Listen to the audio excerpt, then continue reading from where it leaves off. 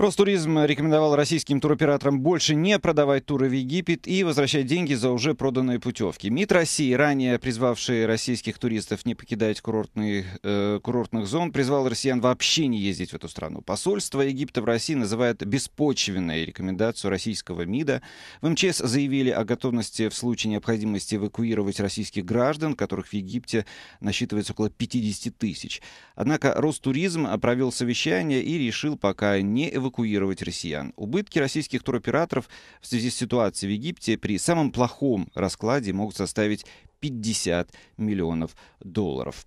Здравствуйте, в эфире программа «Парадокс», студия Александр Векер, и сегодня мы обсуждаем непростую ситуацию в российской туриндустрии на фоне египетского кризиса. Сейчас мы ждем а, нашего гостя, который должен прийти к нам в студию, исполнительный директор Ассоциации туроператоров России Майя Ламидзе. Она несколько задерживается, буквально на 2-3 минуты. Надеюсь, сейчас в ближайшее время и подойдет. А, ну, у нас а, также по традиции уже есть э, вопросы, которые мы готовы готовы обсудить и с вашей стороны.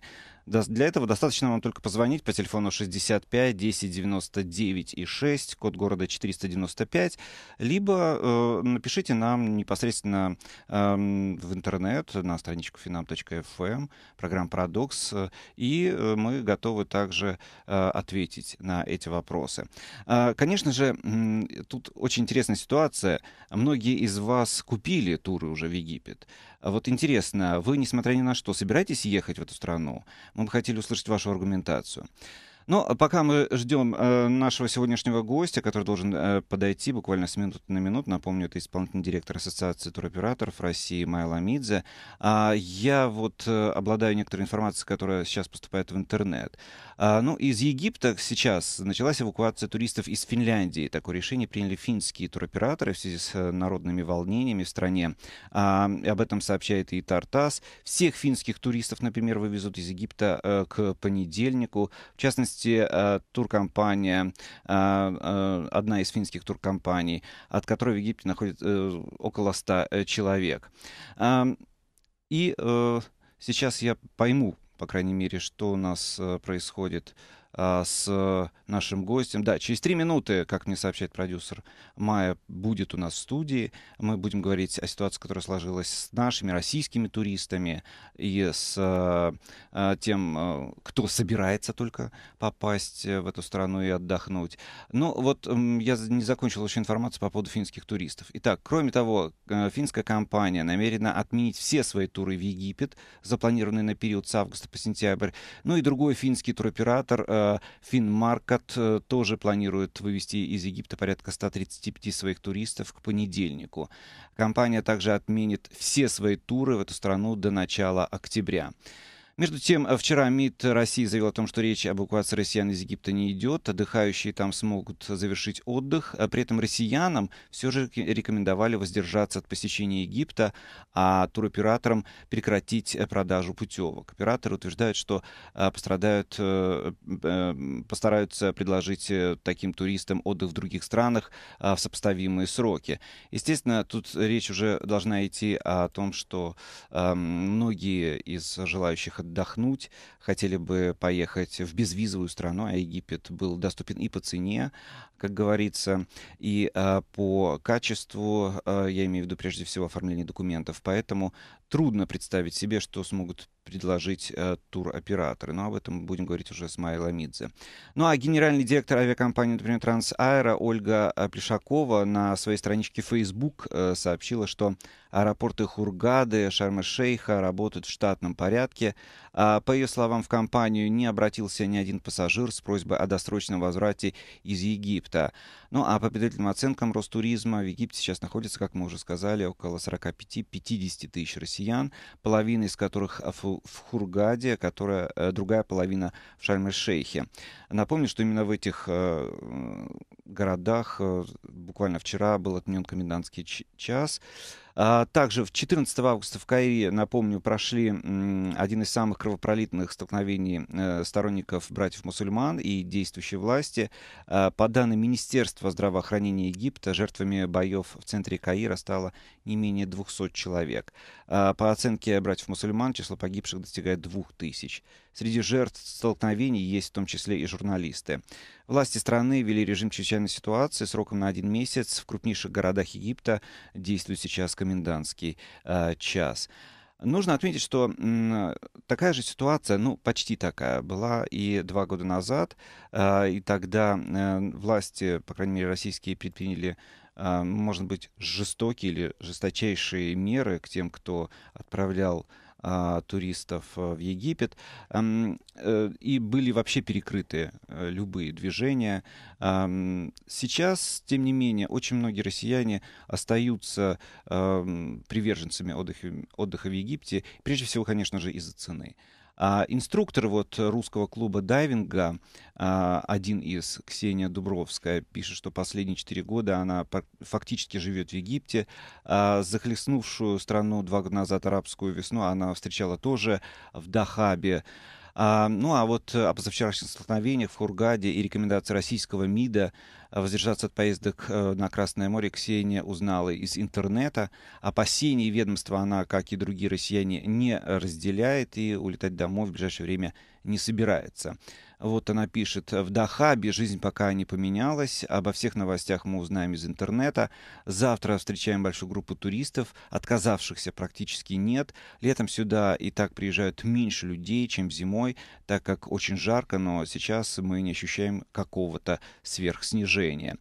Из неудобств, связанных с беспорядками, собеседница э, называет лишь то, что э, дорогу из Шарм-эль-Шейха ночью перекрывают, поэтому при, э, прилетевшим поздно или с опозданием приходится ночевать в аэропорту и только на следующий день добираться в Дахаб. И об этом пишет сейчас э, и РБК Дейли.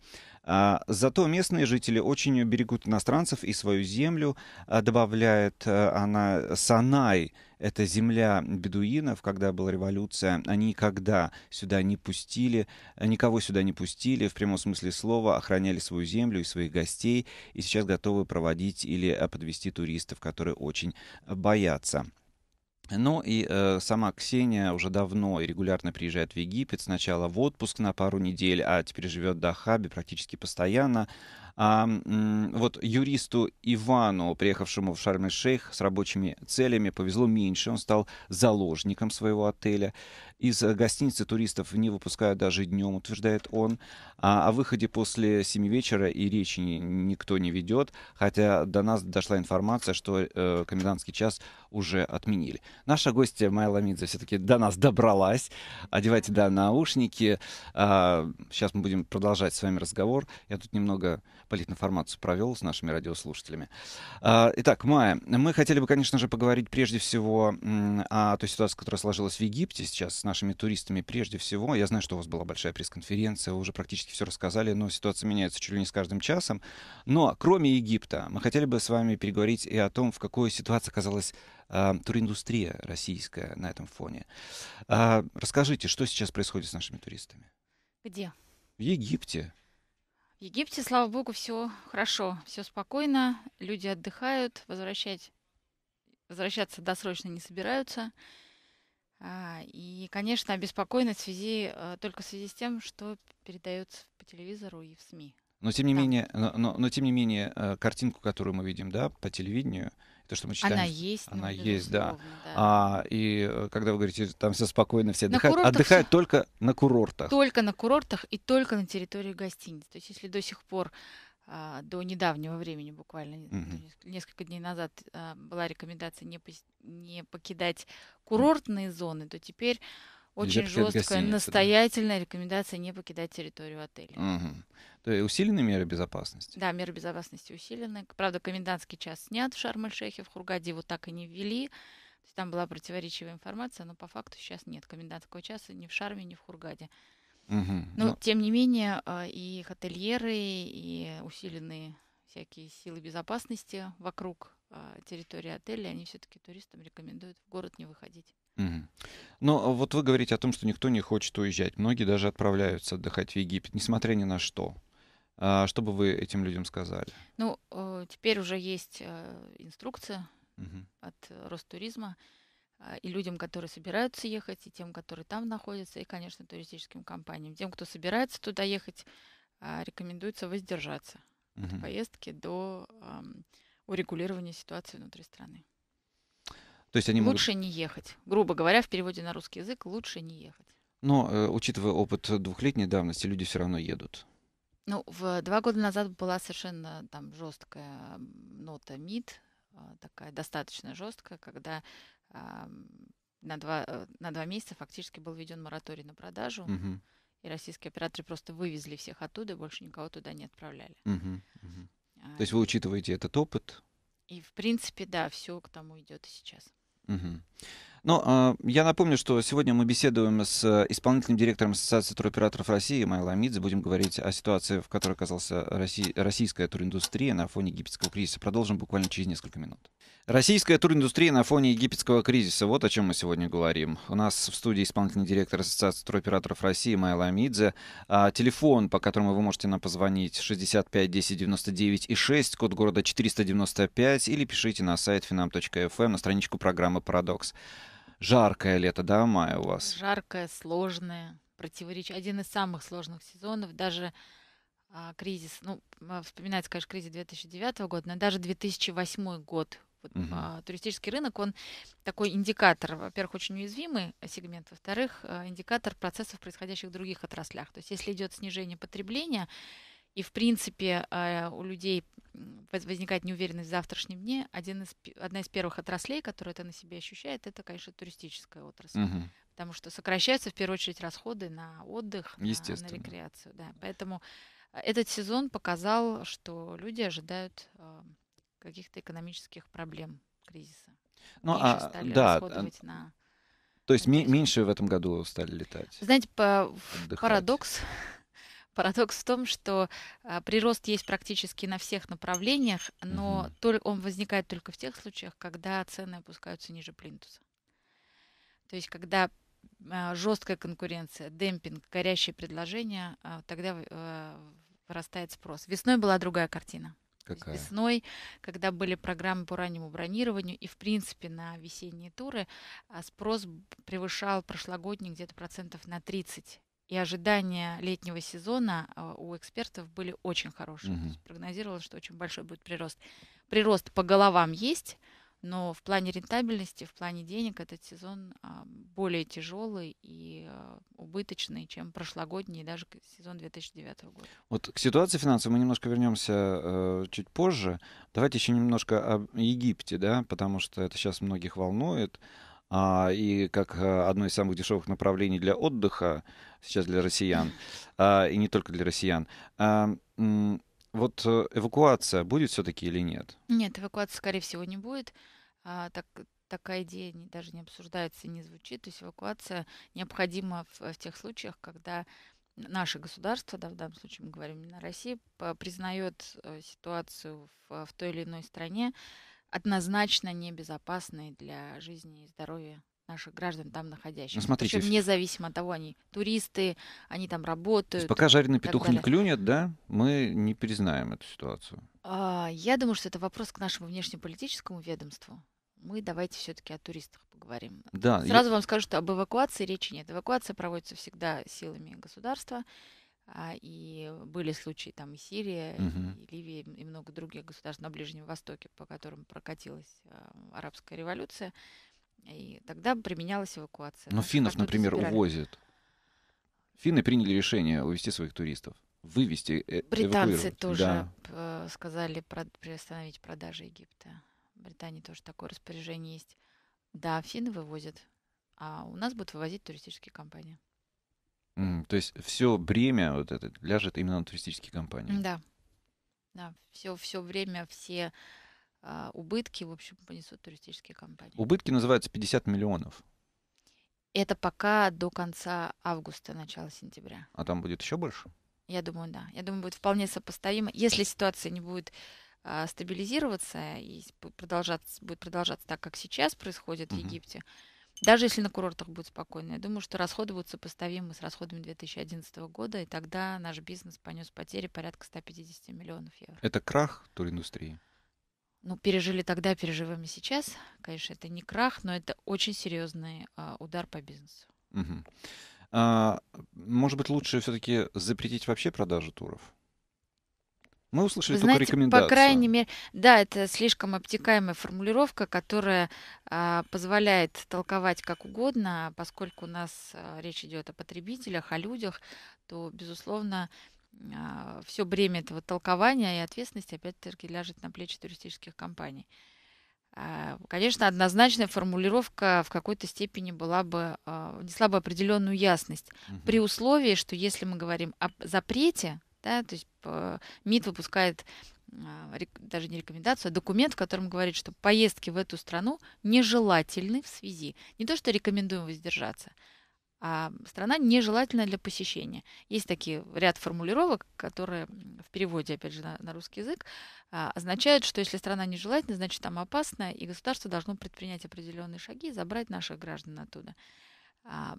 Поскольку формулировка сейчас обтекаемая, то наших граждан забрать нужно, этим будут заниматься туристические компании, но не государство. Ну а э, туристические компании, по большому счету, могут продолжать продавать туры в Египет, предупреждая своих клиентов о том, что там опасно. Сейчас уже не могут. Уже все.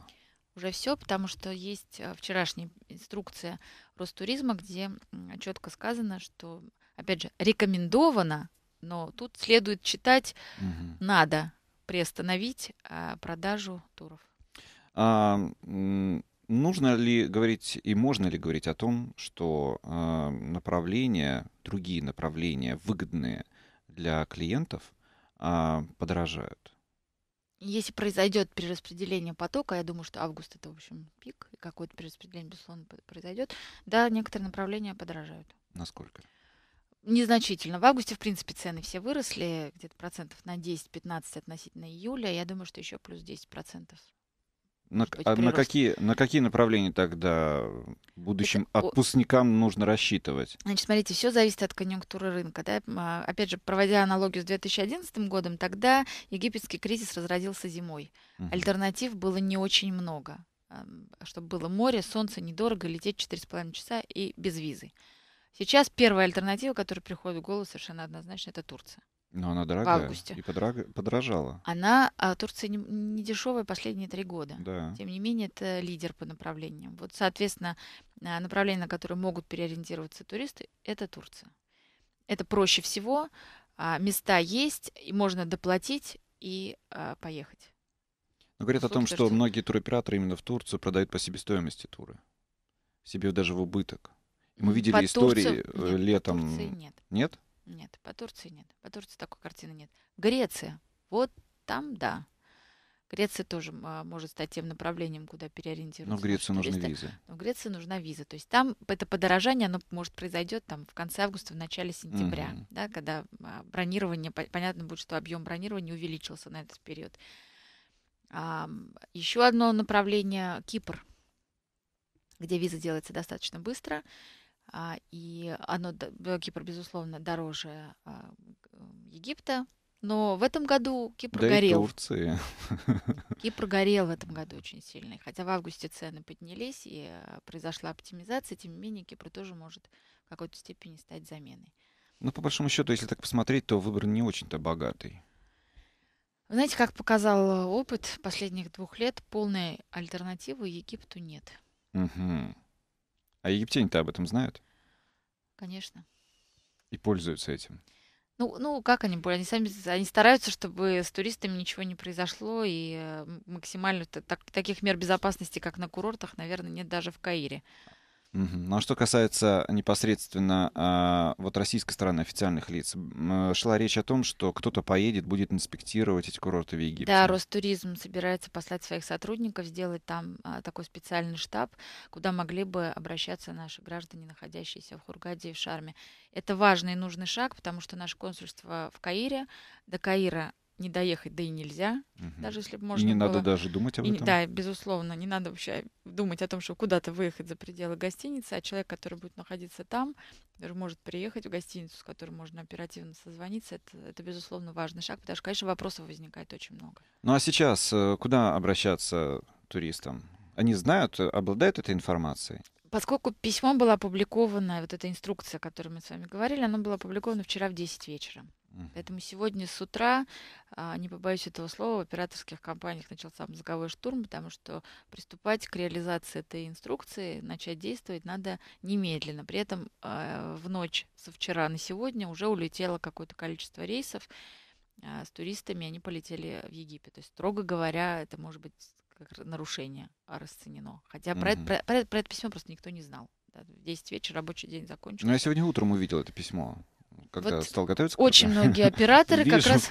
Очень интересное его, Да, его сегодня и увидели. А, плюс еще регионы, да, то есть там тоже разница во времени, там тоже идет а, информирование. Поэтому а, что делать туристам? А, обращаться в свое турагентство, если они уже оплатили тур, приобрели, обращаться в свое турагентство, внимательно прочитать, я бы даже сказала, рекомендовать, рекомендовала выучить наизусть статью 14 закона о туризме, где а, четко написано, как надо действовать в подобных ситуациях. Mm-hmm. Что тур надо аннулировать, турист должен аннулировать его сам, не турагентство должно аннулировать. А как это происходит? Что значит? Э, я Должно быть заявление о расторжении договора в связи с обстоятельствами, которые возникли в стране, с отсылкой на эту инструкцию Ростуризма. А, и деньги можно получить. То есть в таких ситуациях турист имеет право на возмещение полной mm-hmm. стоимости а, тура, но по решению суда вот это очень важный момент, потому что обычно вырывают из контекста, говорят, все, страна объявлена нежелательной, а, приостановка по продаже, значит, турист может получить полную стоимость. Да, может, но только по решению суда. Таков закон.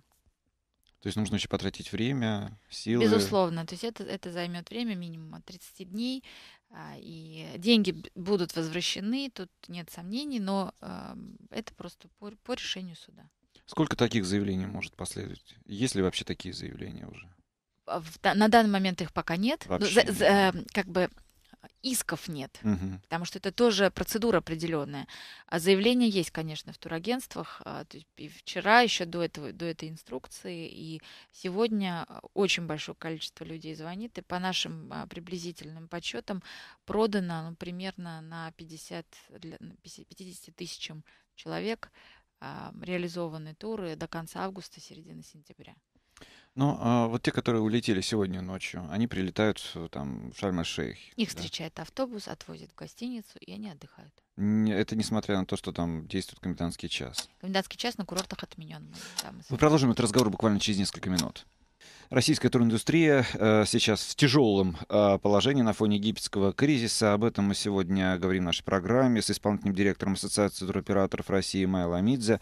Э, телефон, по которому вы можете нам позвонить и задать интересующий вас вопрос по этой теме, а да и вообще о туристической отрасли. 65 10 99 6, код города 495. 65 10 99 6, код города 495. Либо пишите в интернете на сайт finam.fm, на страничку программы «Парадокс». А, мы вот стали говорить о том, а, как себя должны вести туристы, которые приехали в Египет. Вот сегодня был последний, да, такой рубеж до вот этого письма а, Роспотребнадзора, по-моему, нет. Нет. Рос, Ростуризма, да. А, тем не менее, вот люди прилетели туда. А, они знают номер телефона, по которому можно позвонить. Есть горячая линия какая-то. Вот... Их должны были информировать, то есть я бы так сказала, я надеюсь, что они знают. Им должны были дать телефон горячей линии круглосуточное консульство. Угу. А, безусловно, у них должны быть телефоны э, компаний, которых обслуживают там, и а, компаний, где они приобрели туры для оперативной связи. А, все это должно было быть предоставлено туристам. Ну, а хорошо, родственники, друзья, которые находятся на родине здесь, они э, как могут получить информацию? Только средства массовой информации или могут куда-то тоже позвонить? Для, для получения информации. Информация о ситуации. О ну, например, не дозвонился я до родственника в Египте, да, который находится и, конечно, начинает нервничать. Да, я начинаю нервничать, потому что я смотрю картинку по телеку. Что мне делать? Куда мне звонить? Консульство. Наше консульство в Каире. Там есть телефон горячей линии, многоканально опубликован на сайте Ростуризма. Угу. А, а, вот э, Еще эм, хотелось бы также понять. А, сейчас э, тоже разнится информация. Есть люди, которые хотят уехать оттуда. Сколько их? По нашим данным, единицей. 7 или 10 человек было, было таких звонков. А звонки или уже намерение уехать? А, звонки были с вопросом, мы хотим уехать, что нам надо для этого сделать? И что им для этого нужно сделать? Как долго процедура? Им нужно обратиться к принимающей компании, компании, которая там обслуживает угу. гиду, а, им беспрепятственно предоставят место на ближайшем вылетающем в их город а, самолете, если такое место будет. Им доплачивать ничего не надо? Нет. Доплачивать есть... ничего не надо. Но э, если такое место будет, то есть угу. возвратные рейсы, они тоже э, все э, полные, там полная загрузка практически угу. на всех рейсах. Поэтому единственная проблема, которая может возникнуть, это найти места на вылеты. Угу. Давайте э, вернемся к экономике, о которой мы в самом начале с вами говорили, об экономическом аспекте. Потому что сейчас мы фактически стоим на краю ну, очередного кризиса в нашей туриндустрии, да? Или, по, по крайней мере, уже, уже в него вошли? Это просто еще один а, такой, я не знаю, кирпичик сверху, или уж как, не знаю, с какой стороны кирпичик. Ну, надеюсь, египетский кризис. Да бог его знает. Да. Надежда ли это? Хорошо ли надеяться, что это не последний кирпичик? В принципе, В 2011 году идут... сколько потеряли? 150 миллионов. А в этом году говорят о 50. Но это Пока. еще, да, это еще не финал сезона. Пока. Там два месяца вообще не было продаж. При этом были проплаты, и, естественно, египетская сторона не особо возвращала деньги, которые были оплачены вперед, равно как и авиакомпании. То есть там как следует пришлось потрудиться, чтобы хоть как-то минимизировать потери. Поэтому мы сейчас пока говорим только о 50. Угу. И это очень приблизительно. А про прогнозы какие? Прогнозы зависят от того, что будет происходить там. Угу. Прогнозировать, что бы то ни было, сейчас дело абсолютно неблагодарное. То есть, возможно, там будет какое-то жесткое столкновение, и потом ситуация нормализуется, как было в Тунисе, например. А, а может быть, это все опять затянется. Напомню, что с 2011 года, в принципе, а, спокойно на площади Тахрира не было, по-моему, ни Никогда, да. да. Ни одного дня практически. А, вы упомянули Тунис. Сейчас очень многие уезжают в Тунис отдыхать. Кстати, тоже неплохая альтернатива Египту сейчас. Ну, чуть дороже тоже чуть дороже. По цене альтернатив нет. Давайте вот, вот сразу договоримся, да? Все, что все альтернативы, которые Даже мы говорим, они Краснодарского все края проигрывают, да? А, ну, конечно, и давно да. по цене. -то. В Египет можно было поехать вот сейчас. Ну, минимальная цена 700 долларов, то есть где-то до 21, допустим, 23 тысячи. А в Сочи билет стоит 23 угу. тысячи туда-обратно. И вообще наши туристы — это же львиная доля э, бюджета египетского. Там на 20... первом месте по количеству да. наши туристы там. Но мы потом откатились и были на четвертом. Даже когда откатились. Все равно. От, э, европейцы откатились сильнее, намного а, сильнее. А чем объяснить э, такое поведение российского туриста? Нам все равно? Да нет, на курортах там действительно спокойно. Вот вопрос в том, что нам, нам все равно. Вот. Но мы не боимся даже за свою собственную жизнь, настолько экстремалы. Там, на самом деле, а, на курортах не было ни одного а, инцидента, который позволял бы говорить, что наши туристы безбашенные, они едут туда, где стреляют. В Каир нельзя было. Вот были, которые покупали экскурсии в Но Каир в, на в Хургаде был инцидент в городе. Вчера. По-моему, да. Да. Вот я думаю, что это тоже сыграло свою роль при подготовке этого документа. Угу. Там была перестрелка и погиб случайный человек.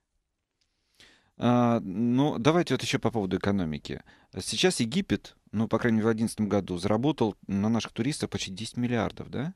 А э, в этом году э, они наверняка потеряют, и значительно потеряют.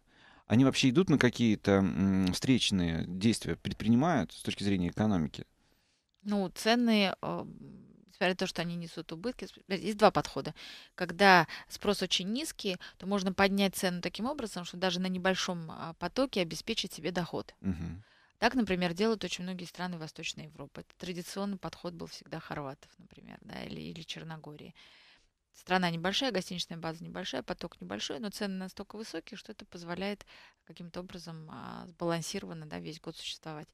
Есть другой подход, когда поток низкий, для того, чтобы привлечь цены, опускаешь, идешь максимально навстречу в лояльные условия а, соглашений с партнерами. Вот так, по такому пути пошел Египет. Поэтому, мне кажется, все, что они могли в тамошних условиях сделать, они сделали. Ну, мы с вами назвали как минимум три альтернативных, да, сейчас направления для наших туристов. Э, Кипр, Турцию, ну вот Тунис мы вспомнили. Мгм. А все, практически больше ничего нет. Не, почему? Арабские Эмираты, просто они визовые тоже отложенные. Таиланд сейчас пойдет в, в сентябре а, сезон. Ам, Греция, Испания, Италия, они визовые, Все они визовые. дорогие, но они предлагают то, что нужно нашим туристам. Непродолжительный перелет, а, море и плюс еще экскурсион. То есть, если я сейчас приду э, и захочу поменять свой тур египетский на какой-то другой, там будет доплата? Или все-таки туроператор пойдет мне навстречу и доплаты не будет? Э, нет, туроператор сначала, может быть, пойдет вам навстречу по поводу смены направления. М-м. потому что не все операторы готовы а, переориентировать уже полученные деньги, перенаправить на другие направления. Сразу говорю, не все. Есть те, кто это делает, те, кто этого не делает категорически. Поэтому это, что Но называется, как Ну, большинство тех, повезет. которые делают, наверняка. Не была бы так убеждена в этом, да. То есть, если у А. вас крупная, крупный туроператор, то наверняка он пойдет вам навстречу. Мелкий нет. Опять же, не, не работает такое правило, потому что есть очень крупные операторы, которые сразу говорят, что все, идите в суд, аннуляция в, суд, будем возвращать только по суду. Никаких альтернатив, никаких перемен, никаких перебронирований. Есть операторы, которые придерживаются очень жесткой по- позиции. А есть те, которые идут максимально навстречу. Мгм. И перебронируют, и поменяют направление. По поводу доплаты тут у всех позиция единая. Если тур стоит дороже, надо доплачивать. Ну, куда тогда лучше? Что, что лучше выбрать, если вот был дешевый Египет? Если получается договориться с а, оператором, а, если повезло, оператор лояльно идет навстречу, то лучше, конечно, переориентироваться, не терять время на суды, лучше не, не- Да потому, потому что это, да, и, и это все равно суд, это все равно расходы по-любому, поэтому Да. лучше эти деньги а, доплатить и отправиться куда-то отдыхать. Либо другой вариант, если оператор упирается, то есть тур уже оплачен, не получается поменять направление, а, тогда пойти к другому оператору, купить а, другой тур, но подать в суд и ждать вот а, решения по Таким образом компенсировать как бы себе потери. А какие направления вы бы посоветовали в этом году? Вы так вскользь сказали о Греции, что в этом году Греция а, очень дешевая, но тем не менее визовая. Да, Греция дешевые визы делаются 4-5 дней максимум, то есть достаточно быстро. А, Отказов нет? Нет, Мгм. нет, по Греции нет отказов. А, Можно было попробовать Италию, Испания, конечно. Ну, это Испания дорого. просто разнообразная. Она очень. разнообразная и дорогая. В основном там, где хотелось бы, конечно, отдохнуть, это дорого. Или там упали цены в можно, этом году? можно. Не, ну, август высокий сезон, в августе низкие цены найти ос- очень сложно будет в, в этом году, вот сейчас. Но, тем не менее, это возможно. То есть там надо искать. Может быть, Болгария. Ну так, я с То есть мы про. Болгарию совсем забыли, кстати. Она тоже визовая, тоже Мгм. достаточно быстро делает визы, но как-то там люди не очень довольны морем в этом году. Ну а по объемам в этом году куда лучше ехать? По объемам По объему, ну вот э, по спросу, скажем так. Какую самую? Турция, что ли, занимает? Турция. Продолжает Турция, занимать? одна- Турция однозначно. Мгм. Очень сильно подросла Греция. а, очень По подросла объемам и по, Испания. по спросу, да, Да, вы имеете виду? Да. И по объему предложений, и по спросу, который мы наблюдаем. Да. Финляндия. Летняя, совершенно неожиданно. Тоже пошла Ну, с- неплохо. страны Скандинавии, они в последнее время вообще пользуются популярностью. Ну да, пока не миллионы, конечно, Да, хотя да. в Финляндию в миллион вроде выезжает, но все остальные страны Скандинавии пока до миллиона не дошли. Но это не альтернатива. Ну да, конечно. совершенно. Арабские Эмираты. Со своими жесткими законами на пляжах. А, на, на общественных пляжах. Да, да. На общественных наши туристы не ходят на общественные пляжи. ну, Они понятно. ходят на пляжи, которые принадлежат отелям. И могут ходить там в А бикини. насколько дороже Саудовская Аравия? Саудовская Египта? Аравия? Да. Саудовская Аравия у нас вообще как бы не Ну, а, ну, Арабские Арабские Эмира- Эмираты, А, да. Арабские Эмираты, ну, в полтора-два раза это точно дороже. О, ну это даже дороже. Испании, по-моему. Сопоставимо, Сопоставимо? да. Смотря еще какой отель, потому что если это... Конечно, даже Арабские Эмираты, ну, правда, там три звезды в Арабских Эмиратах, это тоже очень высокое, выс- высокий уровень обслуживания. Вот, ну, я думаю, что Арабские Эмираты, как раз если ситуация с э, Египтом продлится, Мгм. то они Возьмут своё. хиты, да. Но пока они не входят, и если сравнивать там э, с позапрошлым годом, да, 11 они не взяли свое, несмотря на египетский кризис. Увеличение Да. на 60%. за Где? год. В На, Арабск- на Арабских Эмиратах. На Арабских Эмиратах. Да, М. увеличение колоссальное. Ну, там цифра была, значит, не очень большая. Она была не очень большая, да. То есть это мы не с 800 тысяч до полутора миллионов, нет. Угу. До вот этого второго кризиса Египет вырос больше, чем на 100%, да? После первого кризиса. По посещаемости. Нет, не вырос. Я видел больше. цифру 108%. Это были показатели одного месяца. А, там были два взлета в мае. А, увеличение было там больше, чем в два раза. Угу. Почти в три раза. И в сентябре прошлого года было очень серьезное увеличение по сравнению с, со стандартной послереволюционной картиной, я бы так сказала. То есть два месяца были прям, прям взлет. И а, среднегодовую да, ну, дал немножко другую цифру. Но реально а, не достигла еще до революционных показателей. Uh-huh. То есть в 2010 году а, да, в 2010 году в Египет выехало где-то порядка 2,5 миллиона, 2,4, по-моему. Их данные были 2,8. А сейчас 1,8-2 а, миллиона по результатам 2012 года. Ну, чуть-чуть не дотянули. Чуть-чуть, не, но не дотянули. Ну, не дотянули. И, похоже, не дотянем уже. Ну, в этом году уже нет. Уже никак. Mm-mm.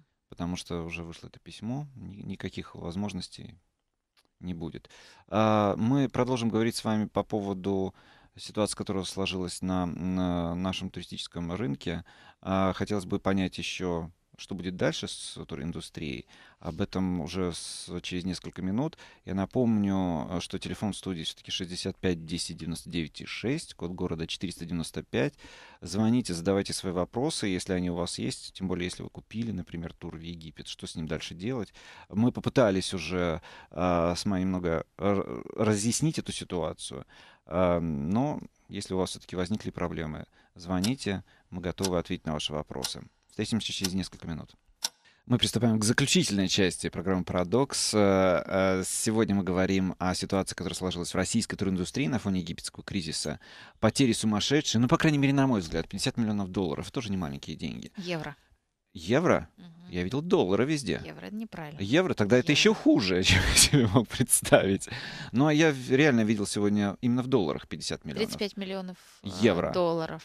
35 миллионов долларов, 50 миллионов евро плюс или равно? Ну, равно. Ага. Или. Или, или. А, мы беседуем Что-то сегодня... я вам сейчас не то сказала. Да, я тоже. Я, что-то я... Наоборот. Нет, не, не, не. 35 Смотрите, миллионов евро на 50 сегодня, миллионов долларов. Мы сегодня читали в новостях убыток 50 а, тысяч примерно по 700 долларов, и это 35 миллионов долларов. Долларов. Да. Все понятно. Значит, чуть меньше тогда в евро. Да. А... Я, да, я взяла на, на если, если да, неправильно я сказала. Это исполнительный директор Ассоциации туроператоров России Майя Ламидзе. Она сегодня у нас в гостях, и мы в течение часа говорим о том, а, в какой яме оказалась туриндустрия наша российская. А, как вы деликатно. Я очень, ну, я стараюсь корректно как-то так сказать, что происходит на самом деле. Не первый раз мы с вами обсуждаем эту тему. Да. Два года назад мы возвращ... да, да, говорили об этом. А я очень долго, много. Это, и ситуация была гораздо хуже, насколько я помню. Тогда вообще запретили вылет в Египет. А я какое-то время вообще туда никто не летал. И да, потери... два месяца. Да, и ударило очень сильно и по карману туроператоров, да и по интересам клиентов на самом деле. Потому что многие рассчитывали, особенно те, кто занимается дайвингом, поехать в эту страну. А, я хочу понять вот еще что. Вот этот сезон, а, если одним словом назвать, туристический, он какой? Самый тяжелый сезон за последние 10 лет. То есть это такого не было никогда? Нет. А, на самом деле рынок переживает такой процесс бурной кристаллизации, я бы сказала. То есть те, кто мелкие, средние, а, изнуренные после кризиса демпингом и жесткой конкурентной борьбой, им все тяжелее соревноваться а, с крупными. То есть происходит процесс консолидации. Весь крупняк он становится еще крупнее, а мелкий и средний, разрыв между этими двумя группами а, увеличивается. Это же хорошо для рынка, на самом деле. А, наверное. Но когда ты смотришь на это изнутри, с бизнеса, конечно, компаниям, которые там по 20-25 лет а, работают и объемы сокращаются, сокращаются, рано или поздно компании, наверное, придется уйти, это все равно ну, тяжело это наблюдать. А что, у нас это есть... естественный отбор. М- маленькие, комп... происходит... маленькие компании, которые существуют 20 лет? Да. Что это за компания? Вы знаете, плохо их большинство... Если жирок не накопили, не смогли их, выжить. Нет, их большинство. Большинство? Да. Таких компаний большинство. И они на грани фола. близки к грани, я бы так сказала. Значит, плохо работали. Нет, это просто это не, ну это, это как, я не знаю, как в животном мире.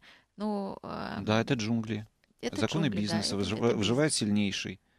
Почему они за 20 лет не наработали? Дело в том, что почему я вам задаю этот вопрос? Очень многие задумываются о том, чтобы начать бизнес. Именно и первые, э, первое, что приходит в голову, по крайней мере, среди моих знакомых, они говорят о том, что они хотят открыть там туристическую компанию или быть туроператором. А, и у меня сразу возникает вопрос, почему? Это проще, это дешевле, есть специальные программы, можно чуть ли не там э, снять небольшую комнатку, с девочкой посадить, и все в порядке. Даже программку можно купить и продавать Знаете, туры. Вот такое отношение. Такое отношение вот я наблюдаю, ну, не знаю, с 96-го года, да, то есть когда еще только все зарождалось, понятно, что это было бурно, интересно, непонятно, ну, вызов был определенный. А дальше началось все то же самое. Что самый, самый легкий бизнес туристический? Посадил девочку в уголочке, там где-нибудь, да, она себе да. бронирует, программе обучилась.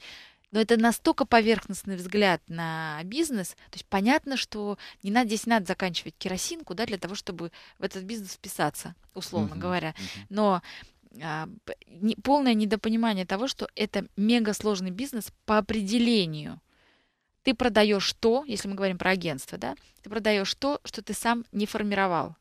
И ты не можешь отвечать за действия своего партнера но при этом ты отвечаешь перед глазами туриста. Перед но туристом отвечаешь ты. Но они же знакомятся со своим партнером. Как? То есть они продают кота Вы в можете мешке? хоть... Вы, а, ну, вы путешествовали самостоятельно когда-нибудь? Самостоятельно нет.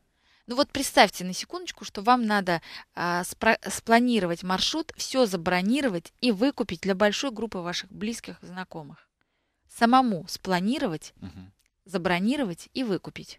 И потом этих людей вывести. Это ваши люди, близкие. Они к вам абсолютно лояльны. Но я вам голову даю на отсечение, что самолет опоздает, как какой-нибудь, какой-нибудь гостинице окажется не совсем то, что вы им обещали показывали на картинке, а экскурсия, которую вы спланировали, а, окажется утомительной для одного из ваших близких родственников. У вас гарантированно будут недовольны.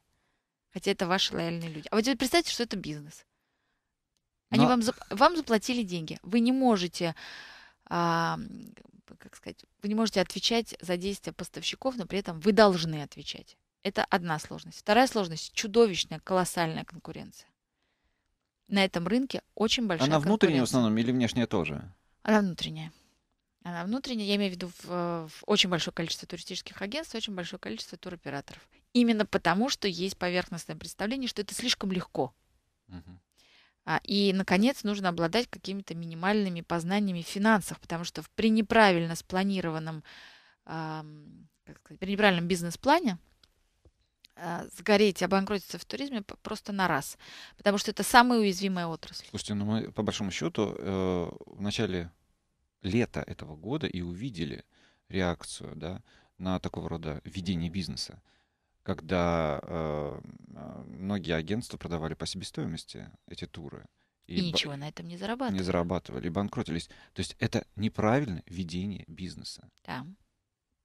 А как, а, понимаете, сколько факторов надо учитывать, э, чтобы это, это не производство, да, где ты можешь что-то подтянуть, ты понимаешь, а, что нужно сделать, чтобы у тебя было качество, ты понимаешь, что, сколько нужно вложить в рекламу и примерно спрогнозировать спрос. Я же говорю, весной были одни представления о сезоне ситуация изменилась, кардинально изменилось потребительское поведение, а сезон уже оплачен, оплачен вперед.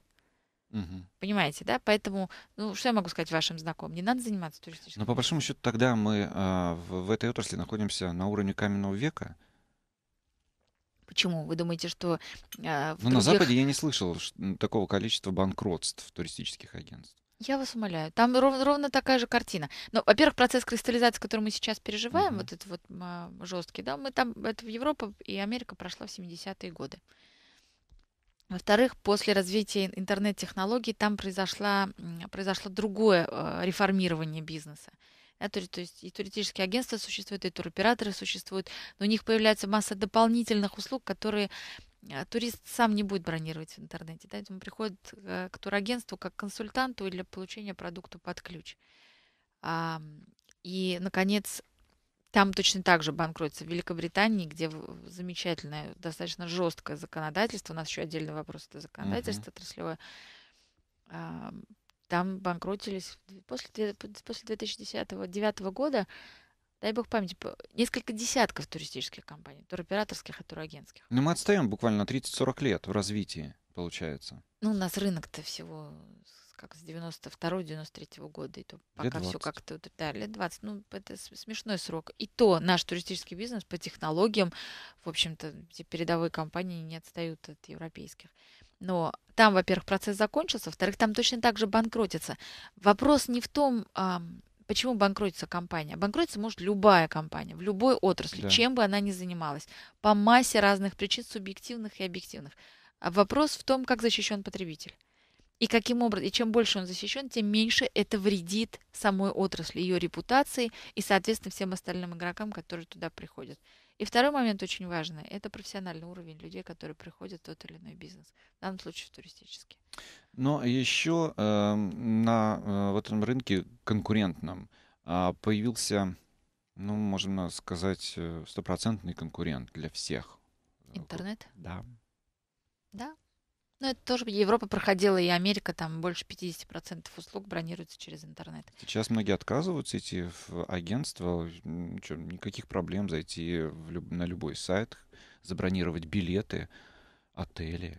Знаете, это немножко аналогия совершенно из другого, Почему? из другой области, но это как а, Apple и Android. Это две разные операционные системы, Угу. И у той и у другой есть свои поклонники. Плюсы и минусы. Есть свои плюсы и минусы. Есть свои фишки. Они прекрасно существуют. Они могут соревноваться друг с другом, но это не значит, что но они не одна система. Друг на друга. Они Вы... влияют, они безусловно влияют. влияют друг на друга, безусловно. И когда где-то происходит увеличение, то э, другая сторона, да, в данном случае туристический бизнес, должен тоже как-то подстраиваться, и это тоже имеет значение вот в этом процессе кристаллизации, про который Но мы объемы говорили. увеличиваются именно у этой сферы. Заказать через интернет. Объем увеличивается во всех сферах. У нас есть только одна, а, мы можем ориентироваться только на цифры Росстата, статистики, угу. пересечения границ. Границу пересекают как те, так и другие, и организованные, и самостоятельные. А, происходит увеличение, плюс еще статистика по перелетам а, и по самим туроператорам. Увеличение потока происходит в обоих сегментах. Просто если в туризме там плюс 10-15%, там может быть плюс 25%. Но, условно говоря, интернет у нас, вот это бурное развитие интернета, это лет пять уже идет самостоятельное бронирование, а туризм с 94 -го года. Да? То есть там базовое, а, базовый объем был uh-huh. меньше, чем в туризме. Uh-huh. То есть там увеличение на 25%, кажется, что все там активнее, но по, по головам-то все равно меньше, чем через туристические компании. Будущее есть у нашей отрасли туристической? Конечно. Что для этого нужно сделать, если можно коротко? Кому сделать? Ну, не знаю. Кому? Законы уже есть вроде бы. Что еще нужно сделать для того, чтобы мы дальше развивались? 10 секунд. Переделывать э, отраслевое законодательство, вводить э, профессиональный ценз и усиливать э, защиту потребителей. Это была Майя Ламидзе, исполнительный директор Ассоциации туроператоров России. Сегодня мы говорили о той ситуации, в которой оказалась э, э, э российская туриндустрия на фоне египетского кризиса. Это была программа «Парадокс». Меня Александр Викер. До встречи.